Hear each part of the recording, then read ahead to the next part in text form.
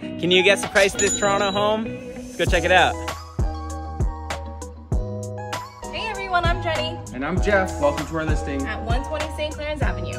This fully renovated home will leave you in awe. What's not to love about this elegant kitchen with the white countertops and the blue accent drawers?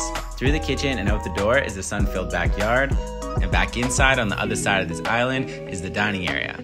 And next to that is the main living space that has a fireplace and a large window for tons of natural light. As we head upstairs, I wanted to show you the bedrooms. This first bedroom is spacious and has a built-in closet, and just beside that is the full bathroom. Also on this upper level are two additional bedrooms that are also a really good size.